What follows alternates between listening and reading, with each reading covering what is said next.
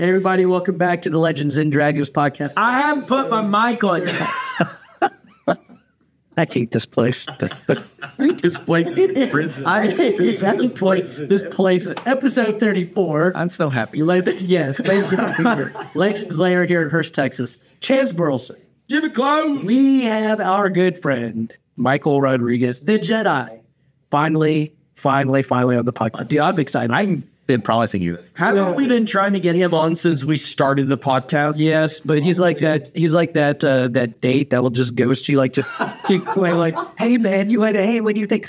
Ghosted. All right. So, so the real question is, Michael, uh, why do you hate me? I don't hate.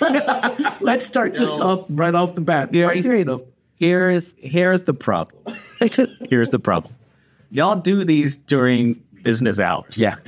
and so That is true. I and I have baker's hours. Yeah. And so it's very hard. You do, don't you? I have do. baker's hours. I do have baker's hours. Know, I'm, I'm excited to talk about that though. But hey, Yeah. um, hey, have you guys seen the uh, the color of Stevie Wonder's shoes? Either see. Oh, you got it. I was going to set that up for uh for Valdez. Sorry. I was like, We're we, we're with the man, the myth, the legend uh, behind that, the big story, right? oh man. So so Valdez was what episode? Shoot, like thirty plus episodes ago. Which is by far my favorite. I okay. So I Well, one for one specific reason. okay. Y'all didn't cut fast enough. And so on Spotify, I got to watch my head instructor get up and go, I have to pee. Oh, so it's fun to say that because because Valdez sent me a message afterwards. I guess him and Amber were watching it. Yeah. and he goes, "You guys didn't cut that out." And I'm, yeah, bro, we know you cut that out. Yeah, an absolute favorite. Yeah, an absolute favorite. Because that is the essence of Miguel. So for those that don't know, who are just tuning in, uh, Legends and Dragons podcast, Legends, we heard Legends Martial Arts. Dragon uh, is because of our blind dragon, if you will, our instructor, uh, master, grandmaster, Yep. Valdez, Yes. who is who is blind. And so with the blind story, uh, I kind of saved it for you to tell the blind story. Like, Okay. yeah, There's different versions of it. Here's the real version. all right, Um, when I met Master Valdez, I was 18. I was it was my freshman year in college. I was still competing in the the AOK at the time, right? Um, I think it was actually probably one of my last years that I did it. Um, so we're in Austin. I'm competing, and he, I do my specialty kata, and I watch him do his traditional kata, and then we we watch each other fight. We didn't get to fight each other, but we watched each other fight. And throughout the whole day, I am the typical Austin kid, right? My hair is long. Uh, I look like a hipster. I dress like a hipster. It was it was bad. I'm wearing the the long hakama, my sword. I had a bandana that I wrapped around my my wrist because I was a sweater. That's actually the reason why is because I was always so sweaty. Okay, so I was able to like wipe myself. Like I would wear it out in public, like school, and he'd wear it because I would just anytime I looked outside, I would start sweating. So it became like my fashion thing. and Miguel and Amber um, thought it was cool because right before I did my sword form, took it off, put it across my head, did my thing, uh, go out there, and he tell or Amber tells him, "We need to be friends." And so he walks up to me and he's like, "Hi," and he's looking like off to the side. And goes, Hi, my name's Miguel, and I'm like, "Hi, Miguel." Did you think it was disrespectful because he wouldn't look you in the eye? I did you know he was blind? No, I absolutely didn't know. And to this day, I still don't know if he's actually blind or not. But that we'll get to that part. So so I didn't think it was disrespectful. I just thought it was weird. Mm-hmm. And so we had the conversation. We instantly became like good friends that day. We made the same jokes. We had the same humor. Um, it was we were making fun of other people. Like it was it was a good day. And so we end up going to our sparring match. We both lose our first round. And then somehow we ended up still placing third place. Because at the at the tournaments they did first, second, third, third. So we go and he's like, Hey, can you sign for my trophy? I'm like, I'm not signing for your trophy, dude. Like that's yours, man. He goes, Where do I sign? on the paper, Miguel. Where on the paper? where it says third place, Miguel. And he goes, I don't know where that is. And so I take his hand and I put it on the paper, and he gets this close to the paper and starts signing it. And I'm like, holy crap, he actually is blind. Like, I had no idea. I thought he was messing with me the whole time. So the next, we, we numbers, and the next day he calls me and says, Hey, are, are you still in Austin? I'm like, yeah, I live here. And he goes, Well, we stayed the night, and I just realized that you and I didn't get to spar. Do you want to fight?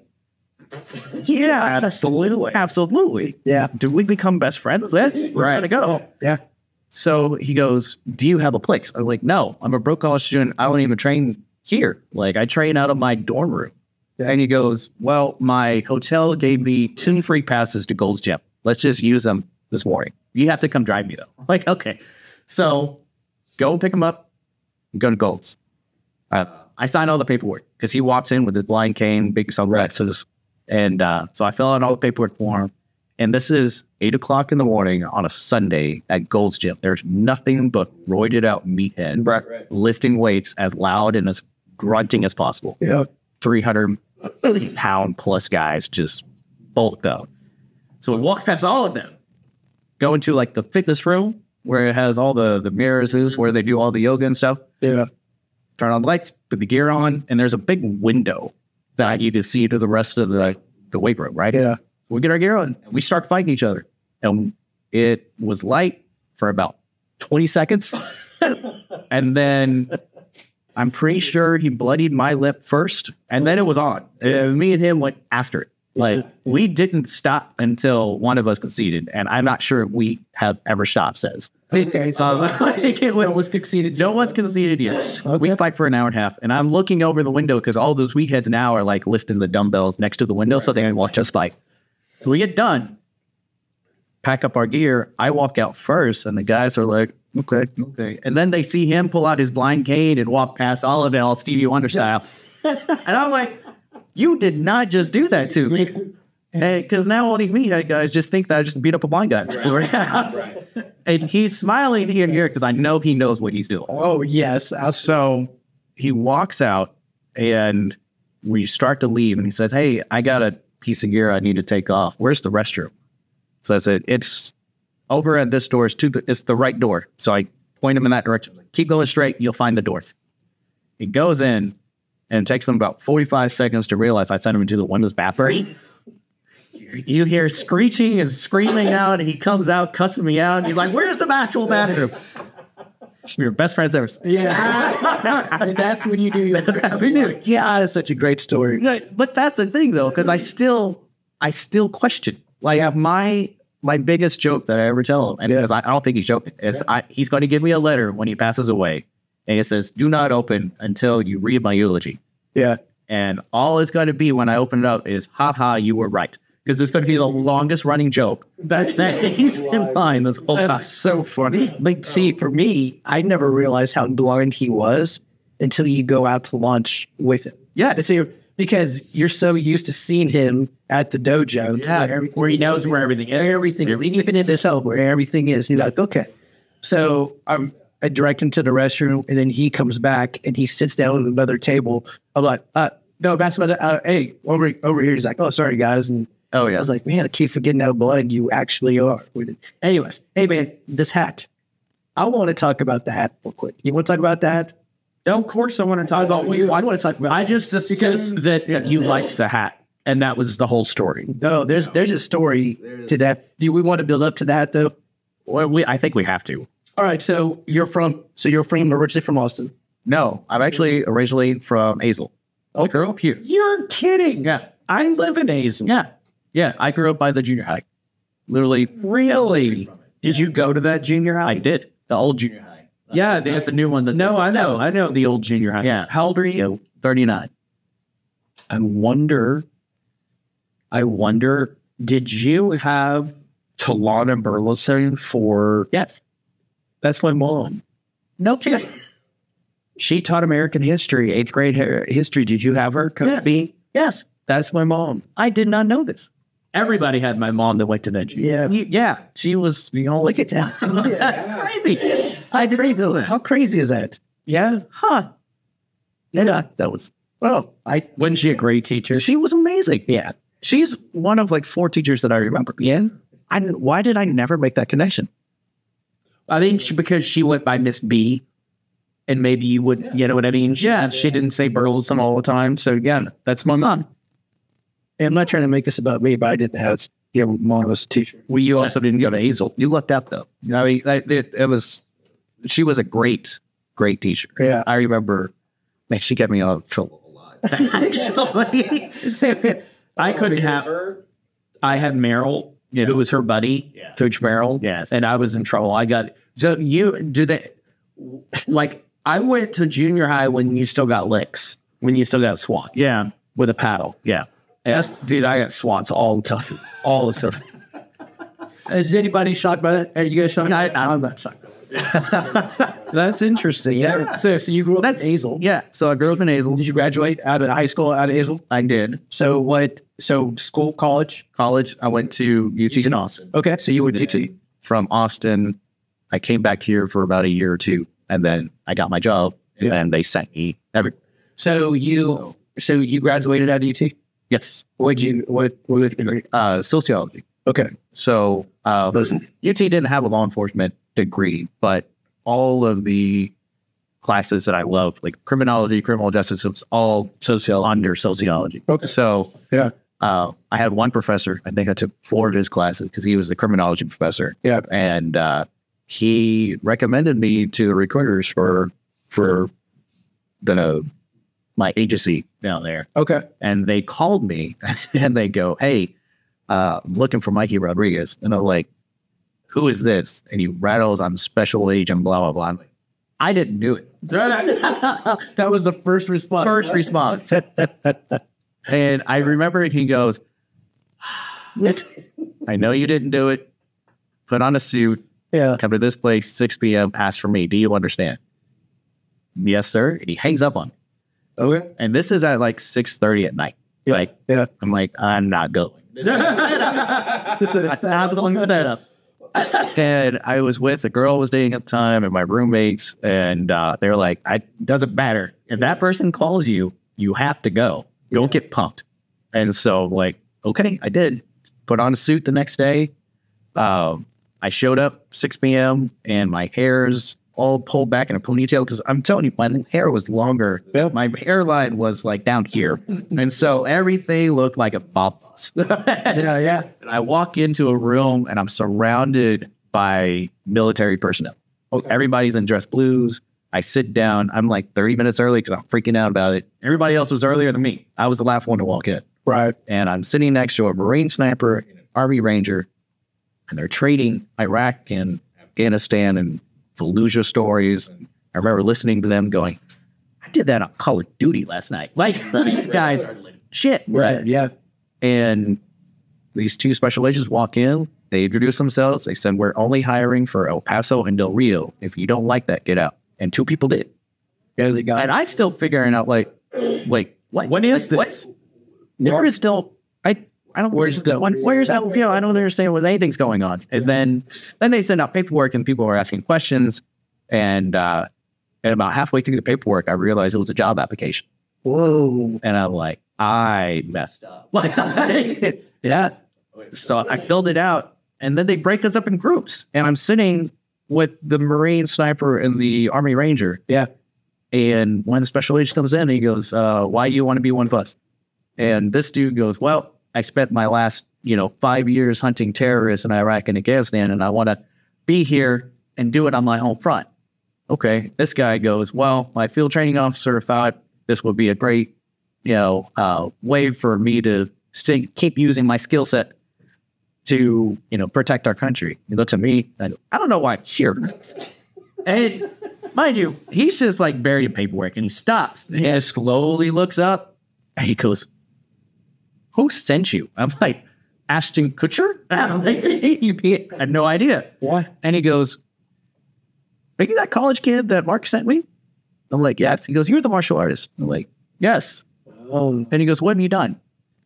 And uh, I told him, you know, I was like I was state champion at the time. I was I was a kickboxer at the time. I was teaching down in Austin at the time. He goes, Okay, cool. get out. And that was it. And then like a week later, he calls me again and says, Hey, you have an interview in San Antonio on this day. It's like in a week, the week after. Okay. Uh, wear a suit, cut your hair. Yes, sir. I think heck is up. And then I go to San Antonio the next week, do the interview. I'm all clean cut now, shaved, like now, like took my bath for the month and you know, got got into it. And it was a three and a half hour interview session. Okay. And it was all about everything that I put in the application.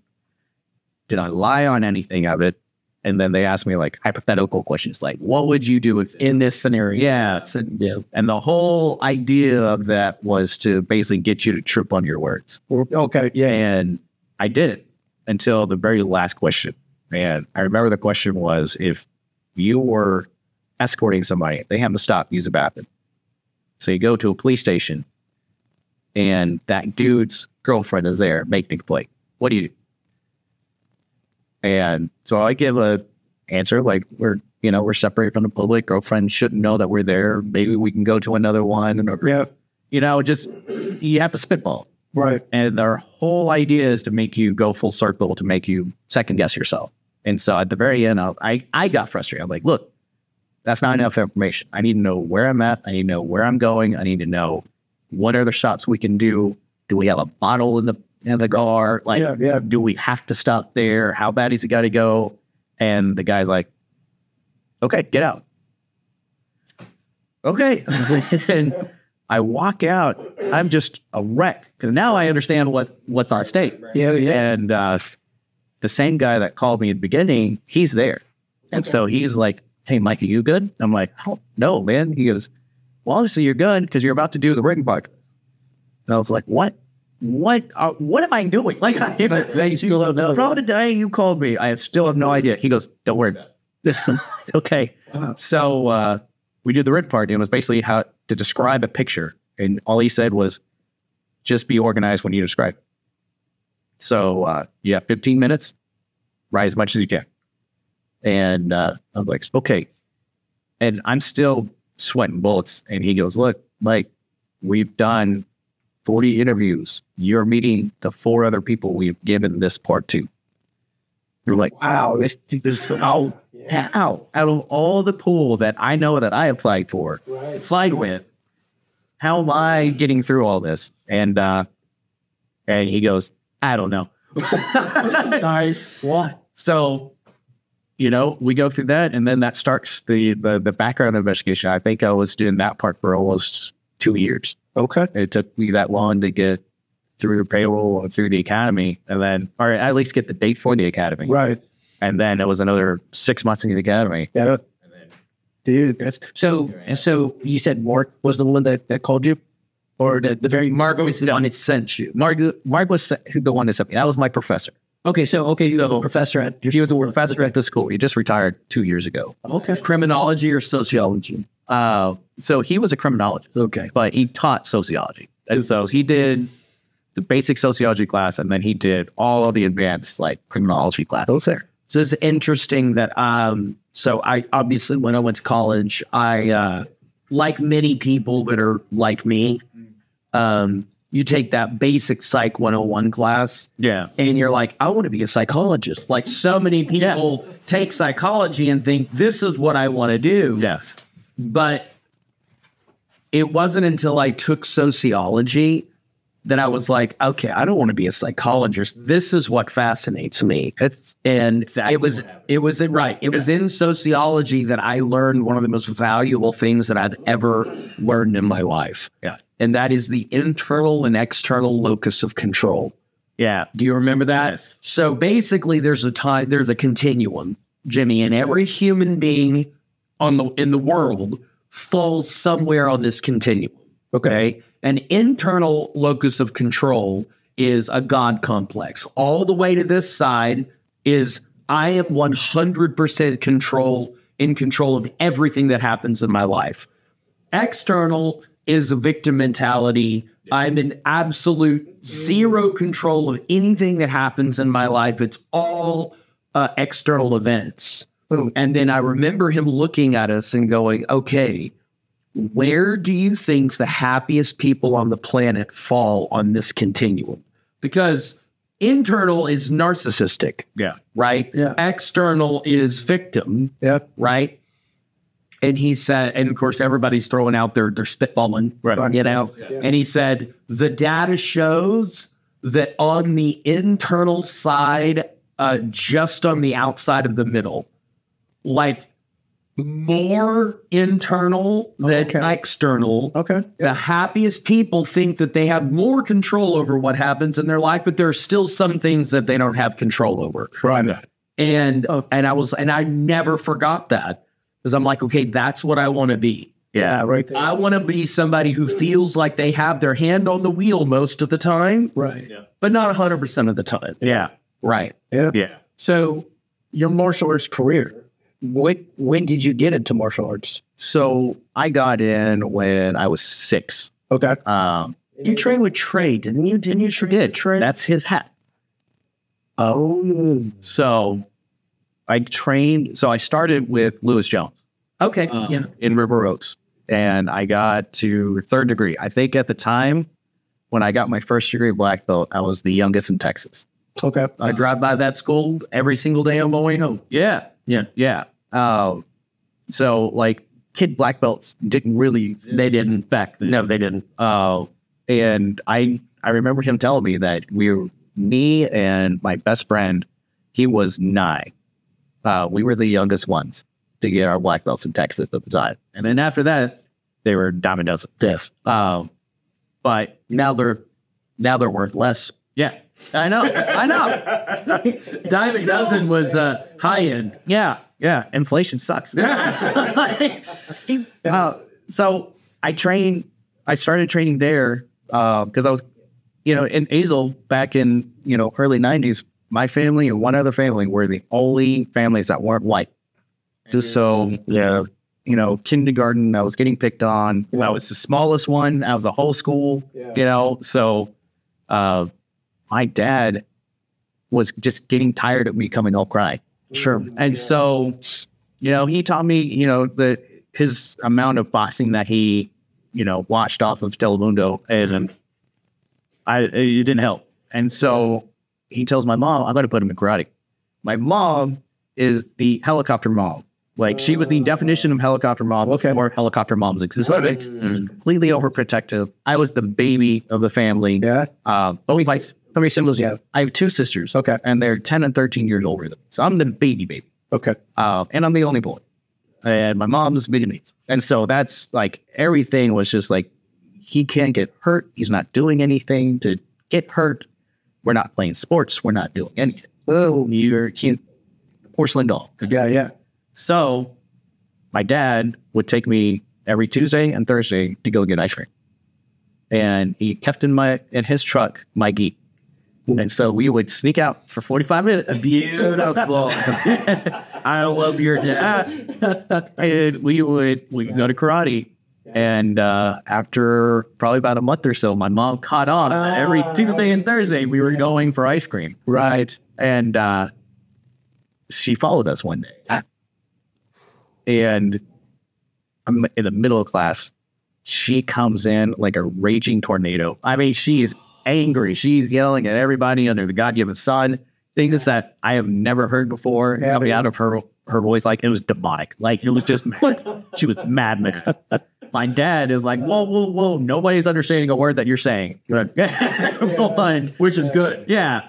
And she just grabs me by the back of my gi top and it's just lifting me up and is carrying me out. Like just walks in the middle of the mat, grabs me and yanks me out, screaming at my dad, screaming at the instructors, you're not going to have my baby boy. And Yeah. one of the parents came up to her and said, Look, I understand your fear. Grabs her by the hand. It's like, I understand your fear. My son is this is in the same class. I don't think he would be here if your son. Oh wow! And she goes, "They're having fun. They're really safe. Come watch me." And so they white knuckled each other for the rest of class. Wonderful. They came the next day. They like knuckled each other again Yeah. in the middle class. We're having fun. I mean, Right. sure, Yeah. Yeah. Yeah. you know, it's a four to six year old class. So Sure, yeah. we're just being goofy at the time. So, uh, she goes, okay, I guess he likes it enough. He can stay. And that was it. If it wasn't for Did you ever find out that mom? Like, have you ever talked to that mom again? I still do. No, they are Do you you see how significant that that other mom was Yes. in your life? Like, if she hadn't been there to do that with her, no, she is she is my second mom. Donna lives wow, wow. Thank you, Donna, for making it. Yeah, Yeah. I still, I, I, I'm still, I'm still their oldest brother. Wonderful. One of six kids. Uh, and so I have a second dad. I have a second mom. That's third dad, third mom, fourth mom. I mean, like I was raised by a village. So, Sure, sure. You know, like it, it was just. I, there's a lot of different sets of parents that helped me be the person. Sure. So I style more sharp with it. It was. It was very karate. So Lewis Jones was one of Bobby Nuttall's black belts. Bobby Nuttall is one of Dad's black belts. Okay. So he started in a, you know, a, a, in, in the Fort Worth branch of, of Pat Burleson karate. Um, it was uh, part of the lineage of Dad. Okay. Yeah. All right. Very cool. So, so Donna talked your mom into you staying, Right. and then and they stayed. We stayed and uh, we grew up in the ranks together. Okay. uh, we we fought. We we had a lot of fun. We became uh, that was our second family, Okay. and so uh, So if what- it wasn't yeah, if it wasn't for her, I wouldn't be here. So what got you into to compete? Because you started when you were you said So it was it was when I think my first tournament was like a few months after we joined. Okay. and so me and Brandon competed at our first tournament together. Yeah. Uh, and I think it took what I don't know. I, I still have the trophies. It's crazy. My mom kept them all. Uh, but it was at, like a little in-house tournament. Okay, and so uh, we had a blast. And then that, uh, like, I I want to keep doing this. My dad saw the potential in it and says, "Go." okay. And so uh, we did every possible tournament. Literally, like, okay, okay back then until I think it was maybe I was a brown belt or maybe my first black belt when they started doing the specialty kata because that wasn't uh, that didn't exist when I started. Okay. So, So it was just what it was traditional kata. traditional was sparring, sparring, okay, point sparring. That was it. There was no continuous sparring. There wasn't breaking, no self defense, nothing like that. Okay. So it was just kata, the sparring. And then they did a specialty, and I'm like, oh, we could do specialty because I was on the demo team for for Mr. Jones. So Yeah. uh, I was like, oh, I'll just do my my demo out there, and it was to the Mortal Kombat song Okay. because every kid did their special form to that Mortal Kombat song. Right. Right. Uh, and I go out there and I'm nine, eight at the time. So, and I'm this big at eight years old. Yeah. So I had like 10 points added because I was cute. and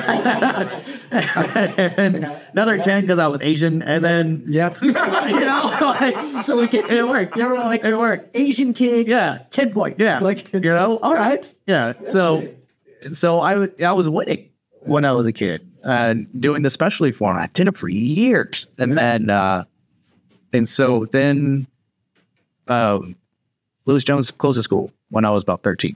Okay. And, uh, to this day, I still don't know why. Like, I, I'm sure he tried to explain to me back then. I just, I didn't know how to do it. Right. Wait, now Yeah. he had the school in Lake Worth, and that's the one you're talking about, that that empty building now. So that's where the school was. Then he moved it to River Oaks. Right. And then you went to River I went to River Oaks. So you're talking about when he closed that school. Yes. Because that was like a two story school. Mean, it was Yeah. a huge school. Yeah. So he, so he started off in the one at Lake Worth and then, uh, that was like right on high. Well, it, yeah, it doesn't exist now because they tore it down for the highway. oh, no, it, the building's still there. Is it? Yeah. Oh. It's defunct. I mean, they're Yeah. of tearing it. Yeah. Oh, but he went to that two story. It's like a pawn shop. Yeah, no, it's right there on the corner of Albert's Cutoff. Still smells like that cool. Yeah. And it's you know, that that place will never not smell like a dope joke. Yeah. And then he moved it down the street, and that was his last one. But then he closed it. He closed that one, and so uh, I think he closed it when I was like thirteen or fourteen. Okay. and devastated because that was my second home. I had no idea, and it was just one of those things. Like, I don't know if he told parents because he didn't tell the kids, but there was just a sign on the door. And so we were going to class, Yeah. and I saw the sign. I'm like, "Hey, that's not good," and everything is in boxes inside. And it was like I was just in class yesterday. Like it was that quick for me. And so uh, uh, about a year goes by, and a bunch of other crap happens in high school and and life. Yeah. And uh, I was not a good kid at that point. Yeah. Only thing that saved me was teachers liked me because I was an honor student. I was right, right. Yeah. You know, I was top of the class, or near the top of the class, and uh, the only thing that kept them from like sending me to juvie was because they understood what was going on at the time. And then two kids or two girls in my class were talking about trade school. And they're like, we just went to the weirdest place ever. Mike, you would love it. I'm like what? What a great sales pitch. I like it. And they're like, yeah, this guy's just weird. He's tall. He's got like a mullet thing. He yells a lot. And I'm like, I got to meet this guy. Yeah. And uh, so I call him and then I don't go for like a month. And just think like, I, it was far because it was in Benbrook. And I was like, man, I don't, I don't know if I'm ready to go back into it. You know, it kind of hurt. Sure, sure, sure. You know, Mr. Yeah. Jones and and stuff like that. So I finally go, and Trey Hanrahan was everything that the legend lived up to. Right? He was just a weird, weird guy. Okay. Uh, he was 6'3", he was 160 pounds. He had a skullet because he couldn't grow hair in the front. Okay. He was missing teeth from like one side. He had a scar over his eye, goatee, uh, piercing in his eye, in his eyebrow, piercing on his ears, and just, just a commanding dude, Okay. right? And he walks in, he goes, "What are you here for?" Oh, like I'm here for the free trial. I'm Mike. There he goes. Okay. And he tried to drive me away for three months. Did he really? Yeah, he hated me. Really? Absolutely hated. So what did he do to try to drive you away? He tried to torture us through glass. Okay. And Was he probably military? Or is one? he was he was a Marine, uh, Army sniper. Okay. Uh, he was Vietnam veteran, Okay. and I didn't find this out until on his deathbed. Like I just thought he was just working me out, but he was legitimately trying to rub me off because he knew that I was Benjamin. Ooh. And so, Oh. yeah, Okay. and, uh, and I was just too stubborn and too stupid to realize it. Yeah. And at the time, is what I needed. I needed that structure. I needed uh, Yeah. Yeah. that aggression to get out. Sure. And uh, and so literally, I mean, for almost three months, he's he's trying to run me off. He had two t- adopted twin boys, Josh and John Crow.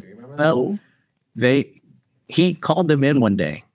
Like we go through class, and he says, "Hey, Mikey, I need you to put your gear on." I, okay.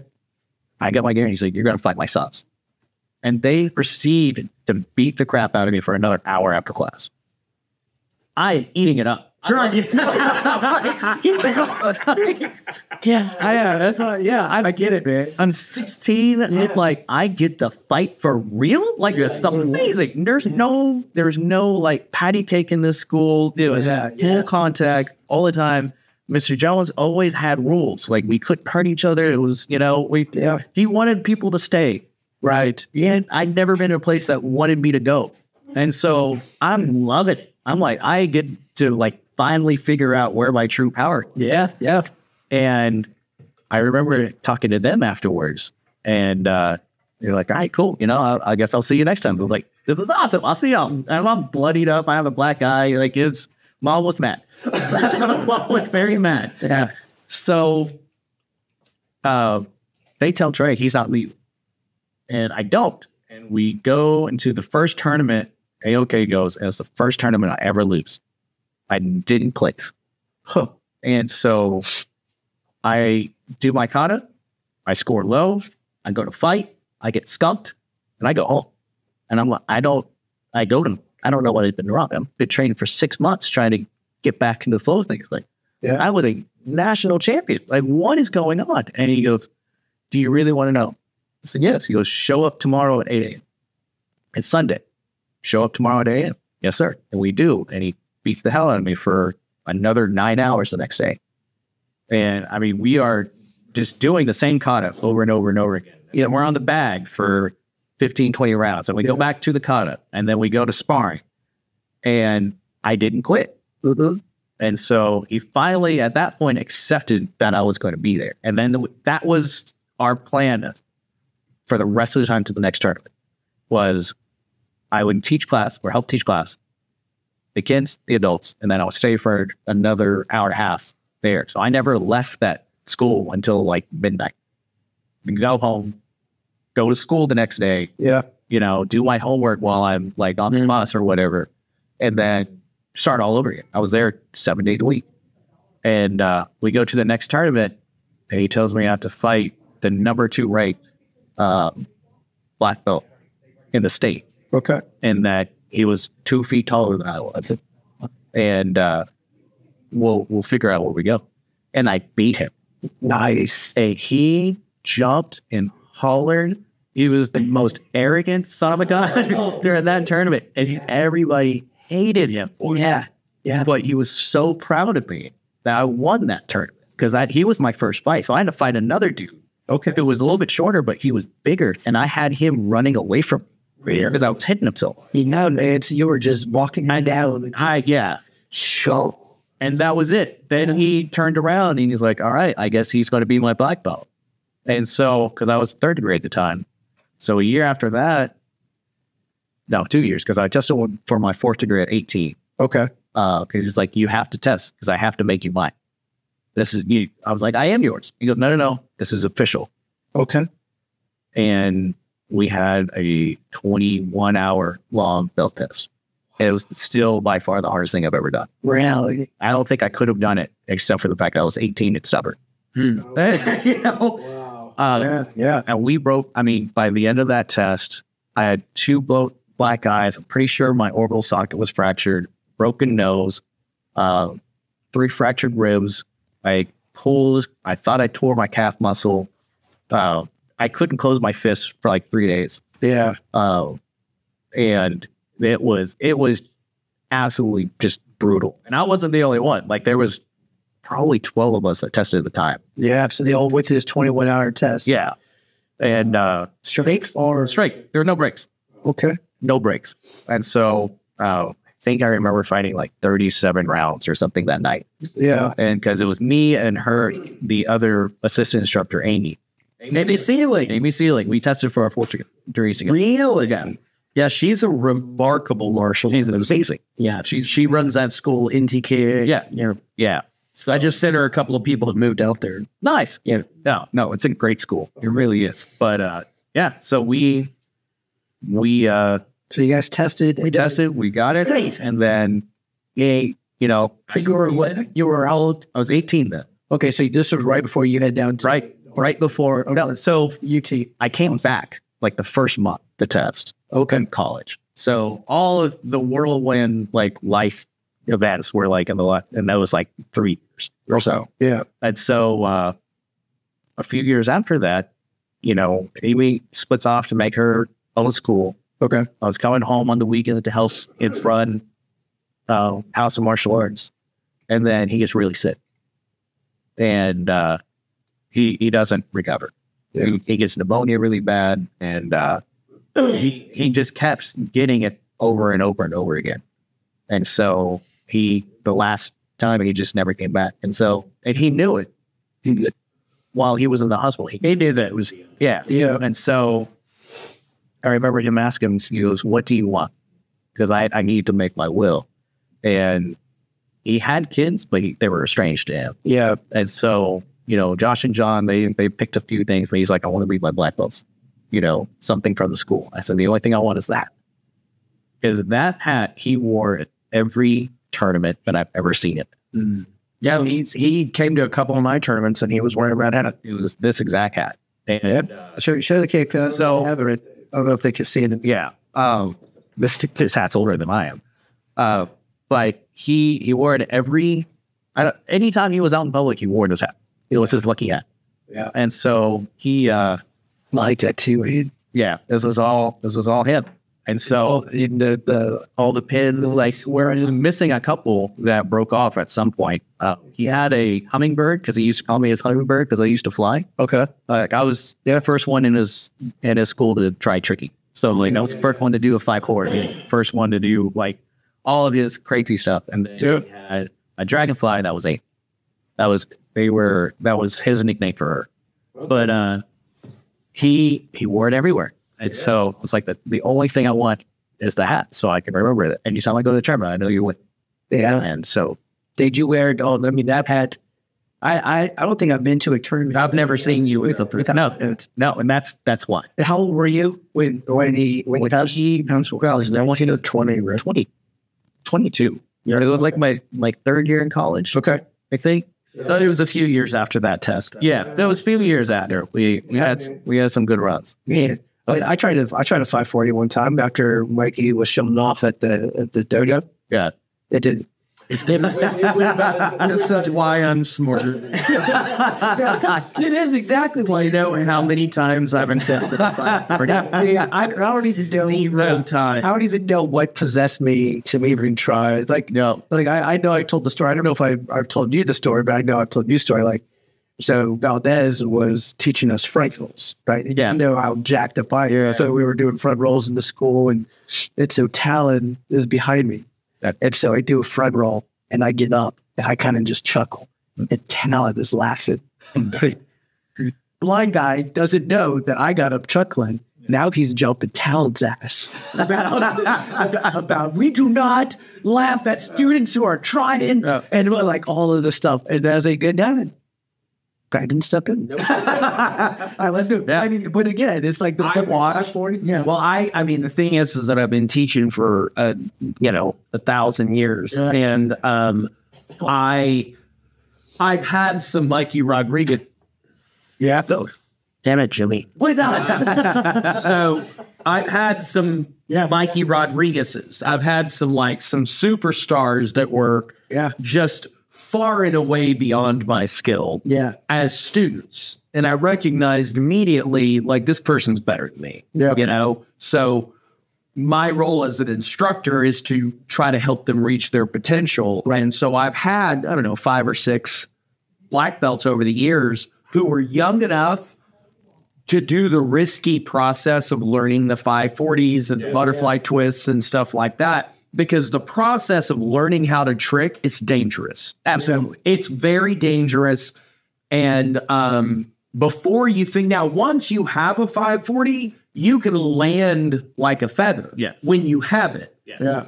But the thousands of repetitions of posting on that knee while you're turning, I watched that happen Yeah. to Chris Maya and Eric Goodson and Ty Puckett. Like I watched them just bang over and over again, landing on that knee. And I'm like, I'm never gonna try to do that. Oh, Yeah. And I thought that was smart. Mm, Because if I don't do something like that. I won't tear my ACL. Yeah. You're a lot smarter. Which I which I still tore my ACL twice. The same one. All right, so you get so you get into all right. So you're you're currently you're a fifth degree now. That's a great. Like well, eighty, Taekwondo or okay, Taekwondo.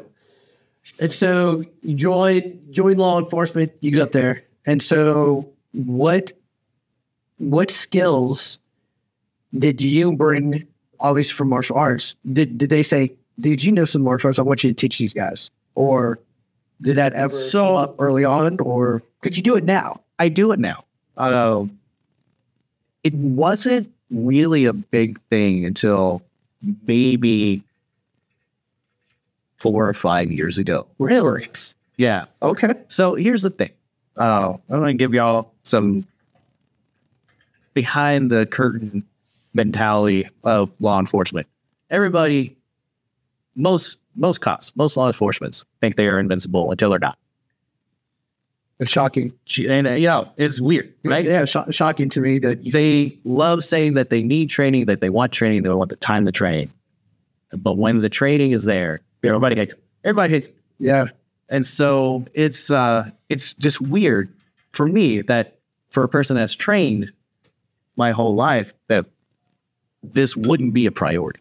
right. You know, I think that for for law enforcement officers, we get more in the hands-on Yeah, combative situations more than anything else. You know why, Mikey? Because it's hard.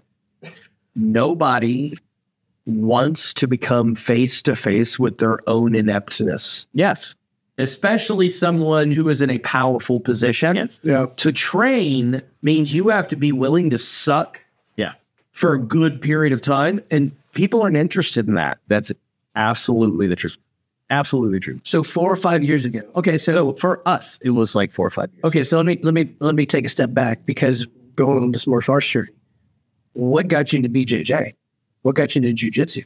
Law enforcement. Work so long, so it got you into jujitsu. I had a I had a bad incident, and a dude about your size uh, gets the drop on me. I'm on the ground. I ground, think I remember you told me you told me this story. Yes. and I'm under him for about 45 seconds, and everything that You knew didn't work. yeah, nothing at all. The only thing I knew that I could remember was to get my head as close to his stomach so he couldn't punch back, and that was it. Now I know that That's not nothing. That- yeah, it's not nothing, but it's also really terrible. Yeah. so, Yeah. Yeah. you know, um, And so how how many years ago was that? You think approximately more? is probably 12 years. Okay, so twelve years ago you, you had this. Maybe, maybe 13. Okay, But- and, and then you were like, man, I need to do something. I need to do something. And then uh, I was in Waco at the time, and a Helson Gracie Jiu Jitsu gym just opened up a month before this incident. And I'm like, that's a sign, you know, like on the spectrum. That's out of my control. I could see it. I'm under this guy. I understand. and, he, and he's doing this, and you're like, this is a Hilton Gracie. Yeah. I we just started thinking about it. Okay, And so, I know where I'm going tomorrow. yeah. So, and it, it's exactly what happened. I go in, yeah, they had like the MMA cage in the back. Yeah. It was a big, giant green mat. Chris Spicer is, felt like he was 70 feet tall. Yeah. He, he looked a lot like Trey to me, like just in his 20s. Yeah. I know, just kind of a skinnier guy for being that tall, but nicest guy. Yeah. Comes in and he was a brown belt at the time, opens up this place with his wife and uh says, Yeah, we're you know, we we're we're here. And I told him like, oh, I got a little bit of experience. He goes, that doesn't matter. okay, yeah, yeah. He's like, yeah, shut up with that. Yeah. Okay, So I joined with a girl. It was me and her is our first day. We're about we're the only person, the only people there that are under 180 pounds. And so Yeah. we get paired up together and we're we're learning a triangle choke. Still can't do one to this day. okay, But we're we're figuring out. Right? Yeah. And then I make myself go like three days a week. And then I would take breaks because I was terrible at it. And then I would go back and then I would keep going. And then. I was I was just doing this like kind of flip flop thing because it wasn't the biggest ego. Yeah, you. Uh, like yeah, you know, I can't control, you know, a woman half my size. How am I supposed to do this in real life? You know, so um I kept going. But I kept going. And so I remember I went to a tournament okay, and Helson Gracie himself would come to our our gym like three or four times out of a year. He would do a seminar. He loved Chris. Yeah. Absolutely liked him. yeah, And so he come visit. Well, we hosted a tournament for Helson Gracie. Big jiu-jitsu tournament in Waco, one of the first ones there, right? I'm still a white belt after like two years, right? With like seven stripes on oh, my belt. That's how bad it was. that's good because I'm oh. working on eight. Yeah. Good. Yeah. yeah. So I go, I get to my match, I fight, and Helson Gracie walks by, sees that I'm wearing his patch, and goes and coaches me. Wow. And I muck it up. I get caught in a triangle choke. Yeah. I almost pass out. Yeah. I tap out. Yeah. And he berates me in the ring for 10 minutes straight. No. I have no idea what he said. Not only was he high, but he was speaking in Portuguese. Right. Okay. Yeah. And so I didn't understand what word he said. I just knew that he was mad at me. Right. I couldn't read body language. Yeah. Okay. So I walk off the mat and I'm like, that's it. I'm giving this up. This is done. This is not for me. I am a Yeah. kickboxer. I can't do this. Okay. And uh, Chris goes and sits next to me and gives me about five minutes. And he goes, Are you okay? Yeah, Mark. He goes, Why, uh, why, why did Helson yell at you? I'm like, I, you tell me, man. And he goes, Well, uh, I have a question for you. I'm like, what? Like, Why do you keep so much space between you and your opponent? And I go, what? And he goes, yeah, this whole time you've always been trying to back up and you can't attack.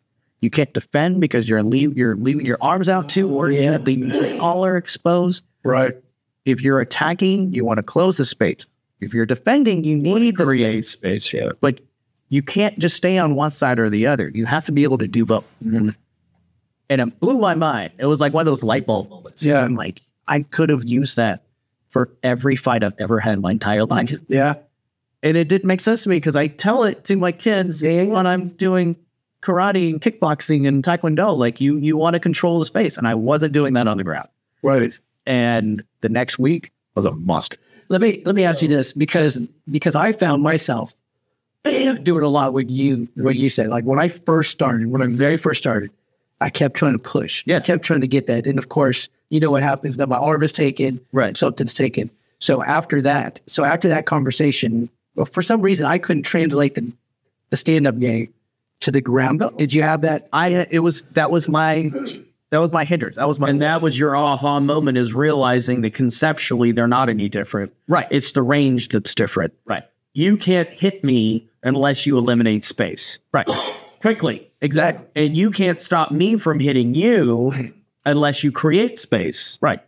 Um, so one of the one of the fascinating things that I'm learning now in the in the kind of the the different types of training that I'm doing, because I've been working on Kali for years, and in weapons range, same thing. Yeah. Yeah, it's the exact same thing. Yeah. But because we add 24 to 36 inches to the range, you all of a sudden don't know how to do it anymore. Yeah. It blew. I know it in this range, but I forget it here, and I forget it if I go out about another two feet. Right. Is it- and it's wild. but it's not different at all. I know, But, it, it's the repetition. That's because now, at least for me, you got to get the repetition in that range. Yes. Yeah. And then it's timing. Yeah. Timing is different. Timing is different because you have the different distance. Right. And so, so let's talk about let's talk about that now. So, so you get your white belt, you competed. Now you the aha moment, and now you're probably just I destroyed people. I, you know, it was crazy because I think the next tournament I signed up was for IBJJF. Okay. And he gave me my blue belt right before it. So now I had to go into the blue belt. Oh God. And Could you not have waited till after the tournament? Yeah. so I signed up and I had like 16 people in my division that had, had an adult blue belt. Okay. And I win the first two. Did you really? My first ever win in a tournament was at IBJJF, and I won with an armbar. Okay. And then the second one I won by points, and then I lost to my third one on an arm with I gave up, an, Okay. and I'm like, this is an international tournament. I'm done. Peace out. Like, Yeah. Yeah. I, and I drank the Kool Aid up. Oh. and that was it. And so then it was I I just focused strictly on figuring out why I was so bad. at it. Yeah. Like, which, you know, still to this day, trying to figure out why I'm so bad at. So uh, on on previous podcast, I give a lot of, of love and respect to Chance. I mean, not just not just in general, but he got me into jujitsu. Yeah. And so, of course, I remember telling you, like, "Hey, man, I just I just signed up for jujitsu," and I still remember. I know you were. I know you were like you were one of my biggest cheerleaders, but I still remember you get on the was like, "Hey, let's roll." You, dude, it to me it was so phenomenal that I outweigh you by probably 500 pounds, and you are just control. I mean, you are just flowing so good. Next thing I know, I'm like probably passed out somewhere. Just kidding, I didn't pass out there. Flight doctor just listening to this anyway. So it was. I mean, think about it. Okay, so so think about it this way: even a bigger, stronger idiot on the mat with gloves and and pads. I'm seeing that here, bro. No, I mean a legitimate idiot. what I mean is the bulk of the men in the world that we know Yeah. that just see red and it's go time. Yeah. You know what I mean? Yeah. Think about how easily Yeah. any one of us three could just, oh, yeah, right. You know what I mean? Move around. Yeah. Jimmy, we're already doing that in a different realm. Right. Why should we be surprised that somebody with years of technical experience can do the same kind of thing? Right. It's our ignorance that costs us. Yeah. But I believe that and Hanshi said this on his uh, one of his little blurbs, which I hate on every word he says, and he talks about there was a time when you started martial arts. You started martial arts like me. I was a young child, Yeah. And you had whatever option was there. It was the, it was the Lewis Jones Karate American Karate Studio in Lake Worth. Yeah. you didn't have forty other places that you could go. There weren't YouTube videos like the, you know what I mean. Yeah. you had to be style specific, and it was whatever was closest to your house that you could go to. Yeah. And that's the way the world was 20, 30 years ago. Right. Right. Yeah. We don't live in that world anymore. No. There is no excuse not to cross train in martial arts. Right. Right. I believe that it is irresponsible of any striker to not get a basic rudimentary Oh, knowledge. preach. I mean, it is irresponsible. I agree. There was a time when you could make an excuse. Yeah. Yeah. Well, it's not available. That's not true anymore. It's everywhere. Well, so Mikey told me, it, and I still love it. like I this plays in my brain because there are many times where I'm on the mats and just getting smashed. And like I'm not any good. I'm like this sucks. I'm not. It's like of course you know Philip and Greg are like they're they obviously see the progression, but in my brain sometimes I'm like I don't see anything at all. Mikey called me. I was like, hey man, he goes, I'm doing this. I got invited to teach some newbies some some Marshall like had some restraining stuff. And he says, if you want to feel better about yourself, Right. go get someone who doesn't know anything. Yeah, Yeah. yeah. So yeah, you want to tell that story though? Yeah. So, um, one of the agencies invited me to go to like an open mat session, right? Seven in the morning. I gotta be there. Perfect. Fine. That's cool. I do the zombie class in my gym. That's that's me sleeping in late. Yeah. And so uh, I gear Nogi, this Nogi man, shorts and t-shirt. Cool. So I walk in and it's their academy class. And there's like 50 of them. And I'm like, what are we doing? And he goes, we're breaking their psyche. I was like, are you kidding me? What? And they're like, you cannot submit them, but you are basically to control the fight for three minutes and get them to break mentally, make them try to give up. You don't. I, I don't know if I could, I've never done this before. And then go, you're going to love it. so, yeah. So I watched them do it to their first people. So what they did was they took their guys, they went, they did calisthenics for like five minutes. So they're already sweaty and tired when they get to us, to the mats. Then they roll with us for three minutes while we heckle them. oh my God. And then they go and box for another two minutes with each other and then in an instructor for a minute. So by the time that they're done, it's about 20 minutes of just fight. And it's their first real taste. Right. Because some of these academy students probably never never thought of punch before. yeah. you know, never been grabbed before, you know, unless it was like their brother or something like that, you know. So the first person I get, I get a woman, and uh, I'm playing with her. I'm I'm flipping her. I'm literally like just helico- helicopter stuff with her. I grab her back. I'm just like, what are you going to do? What are you going to do? You know, it, just kind of being like the schoolyard bully. Yeah. And I hear them just trash talking from the side. And I'm like, I did not know that was going to be okay. So I get progressively worse with each person that I roll. and I'm one of the smaller ones there. Yeah. You know, like, and they have a whole line of us for like to to rotate in for these guys. And I'm out there probably every two rounds. Like I I just want to be like I just I'm not getting tired. Like this is funny. Yeah. Like I've never really gone after somebody. Like because if you if you did that going into my gym right off the right off the street and you just get torn up like that, you would never come back. Right. Yeah. Right. You know? So you I've never really experienced that point of Yeah. like Just breaking someone like just well, that and the heckling. Like you know? yeah. And uh because if I have to do it in real life, I'm not heckling them. I am Yeah. I'm cussing them out because they're crazy doing it. Sure, sure. Right. But I'm never like like this is Well, Jimmy, I mean, think about you know when we when we think about our progression because I'm, uh, y- you know, when you talk about how much you suck at jujitsu, um, I suck at also that exact level. Right. right? I got not like my skill level at jujitsu is on par with your skill level, but I want you to think about. But my suck is better than the guy sitting on the couch. No, no. What I'm saying is, I want you to think about. Take away the fact, take away the knowledge and the skill Yeah. of the shrimp and the frame, and then think about how much you suck. Because there was a time Yeah. when you didn't know how to frame, Right, and yeah. you didn't know how to shrimp, Yeah. and you didn't know how to scissor sweep from a guard. Like you didn't know how to do any of that. Yeah.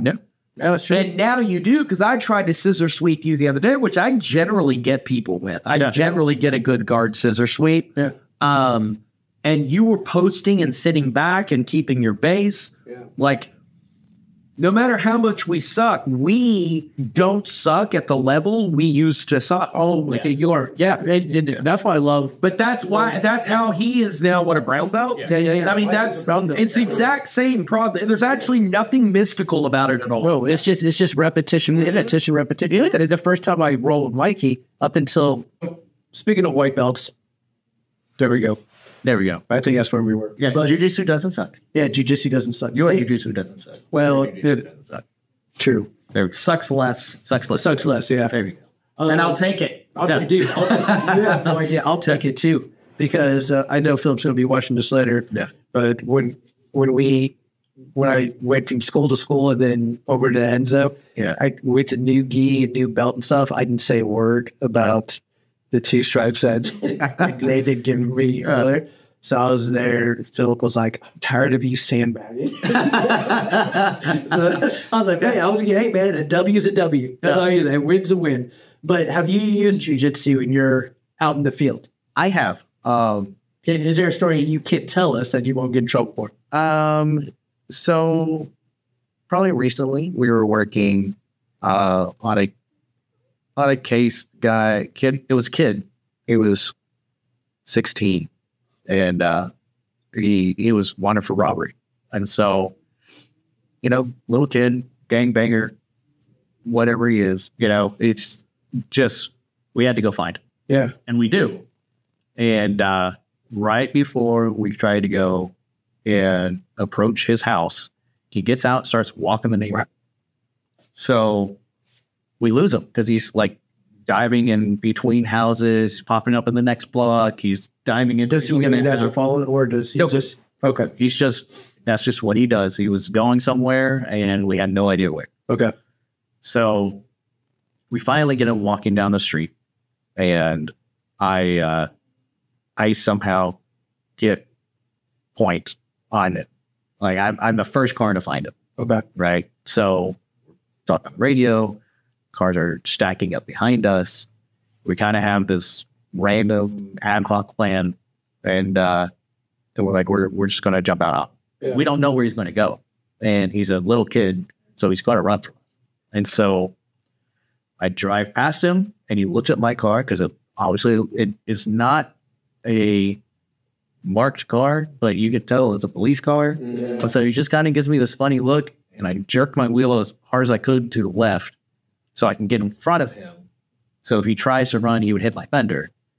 Uh, and I just popped out Okay. and he does this like the the three steps like should i run should i not and at that time i grabbed him i threw him down on the ground and i had him locked up uh, before my guys could get out of the car and they come in they jump on him because i just hold him there i don't attempt to go any farther than that Right. uh, and so we pick him up and we, you know, put his, camp, his handcuffs on. He picks him up. He goes, Hey, hey, hey, I'm sorry. I'm sorry. You know, I just want y'all to know I'm 16 years old. I have it to defend myself. I have a gun.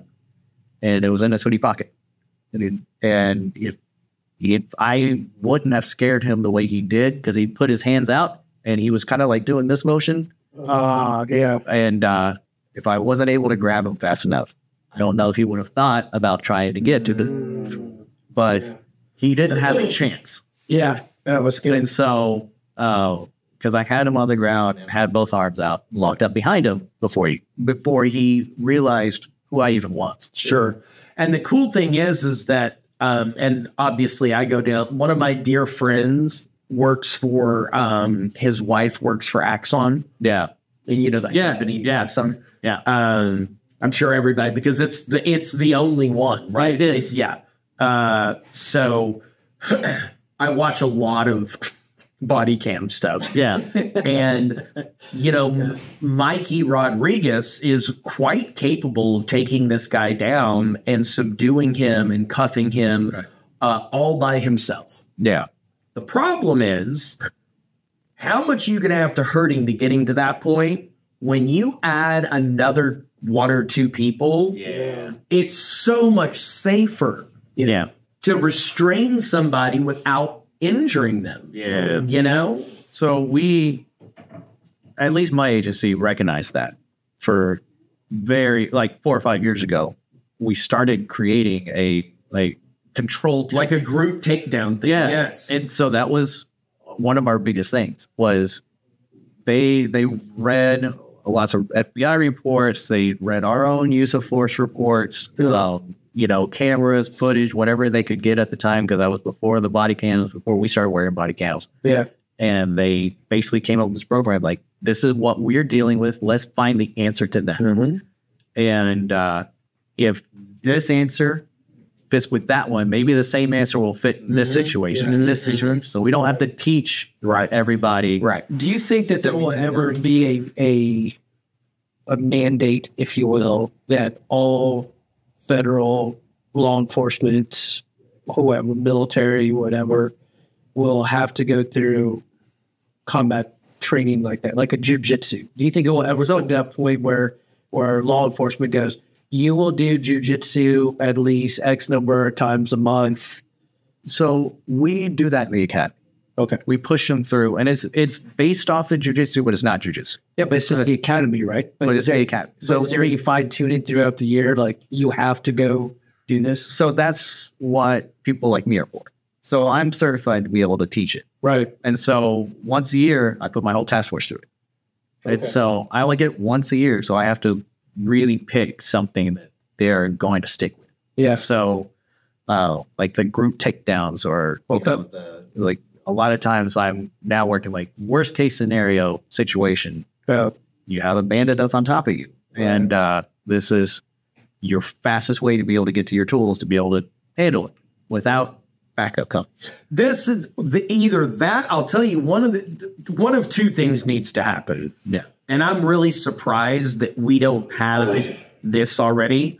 But either everybody in law enforcement needs to have some version of, you, of the knowledge and skill that you have, Yeah. or we need to fast track the technology of that Scarlett Johansson Black Widow thing. that- because uh, here's the thing: we have taser, like Yeah. we have the like the technology it exists. We need to be able to go bang and then just Yeah. Because I'm surprised by how many law enforcement guys join the MADs, right? Uh, or let's say Henzos. That a two stripe white belt. yeah, no, no, yeah, yeah. That I'm like, dude, like you're We need better technology or more skilled people. Yeah. So here's here's the crutch for that is that a lot of our officers will rely too much On the technology? on the technology. And so when that fails, they have no backup plan. You know, because they do. They're, they're not Right. impervious. Well, know? and, and it's probably not like a uh uh it's probably not the best that the tech world has to offer. right. right. And the other thing is, is you still have to deal with that person in some way. Yeah. Like you just can't handle with the taser and be like, all right, I won. Right. You know, they're going to continue to try, try to fight and continue to get away. So uh, the things that we're trying to spread across, because there's only 60 of us, at least for my agency, across the country Yeah. that are certified to teach. Um, and so we're spread out. We we do we do these uh, officer training, and we invite everybody. Yeah. It's not just our agency or our task forces or anything like that. We invite everybody in that spot at that time. If you want to come, this is the training I'm offering.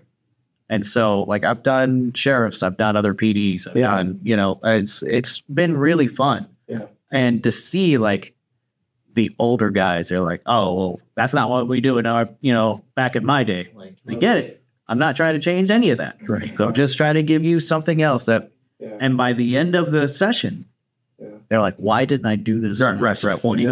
You know, like, you know, and it's been that kind of eye opener. And it's been, it's by far the, my, I've, I've done my job for 16 years now. And it's by far my favorite assignment I've ever had. So as, so as we wind this down, Yeah.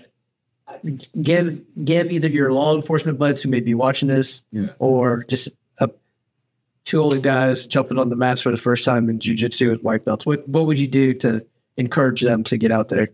Uh, to get out. They the just mat. get on the mats. Just get on the mats. Just just try it. Give it six months. Let's Give it six months. Yeah, that's good. Um, you're going to hate it. Because because if you give it six days, then you're not going to make it. No, if you if you give it a week, you're going to hate life. It's going to hate you. Right. It's going to eat you up. But six months is enough time to see. I like that. Six, That's good. That's good. Six months is progress. After three months, you're you'll you'll understand your first concept that you've done wrong the whole time. Sure, sure. and then after that, you will you will slowly drink the Kool Aid. At six months is the make or break. That's either for you or or it's not. And But after six months, you've got some skill Right. that the majority of people don't have. Right. Right. That's good. That's awesome. You know, I like that. Listen, man, you know, I have nothing but love for you. I'm so glad that we got. Yeah, me too, man. that was fun. Yeah. Yeah, It's good times. I appreciate it, and uh, and for for our watching and listening audience, I appreciate your self defense stuff because over to get our black belt, we have to go through self defense, and you've probably seen some self defense. You're like, I don't know, Philip shared this thing like the chair self defense or something, something crazy today. Like, but anyways, all that to say, you make us keep it uh, realistic. Yep. And that's what I appreciate. Like, I'm not going to do, I'm not going to throw any spinning tornado kick and out Right. there. It's just very basic. And When I say basic, very practical. That's what I say. So I appreciate that, man. Thank you. And, uh, you know, I have nothing but love. But, anyways, Chance, got next week off. This, this Thanksgiving. You guys go get fat. That's right. It's Yeah, we're gonna go see my mom. Yeah. Yeah. Oh, yeah? Yeah. Hey, your teacher. I said I'm going to see your teacher. That's oh yeah. We're going to go see your aunt grade Listen, uh, uh, it, there's no reason for me to tell her Uh, because uh, after she walks out of the room, Yeah. she will not know that we are there. Yeah, yeah. She, hey, she still knows who we are. Yeah, that's all and that's not, not. And what's great is we get to spend an entire day Yeah. surprising her with our visit over and over and over and over. That is awesome. Yeah, now she's gonna go to the bathroom and go. When did y'all get here? Yeah, it's gonna be it's gonna be like Christmas over and over and over and over. Yeah, it's gonna be great. Well, for me, I'll be at work. Yeah. Like you, you people, hey, stop flying about Thanksgiving. Give us, There, man, man, come on, man. So that's what I, that's what I'm gonna be doing. So, anyways, listen, Thanks, guys. love you guys. Like and subscribe. Goodbye. Peace. Boom.